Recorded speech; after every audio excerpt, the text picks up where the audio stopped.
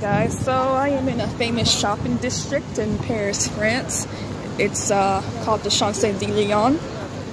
It has so many international shopping stores. It has uh, also has a lot of places to eat as well.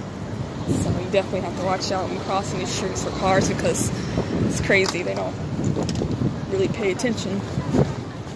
Um, so it's just famous.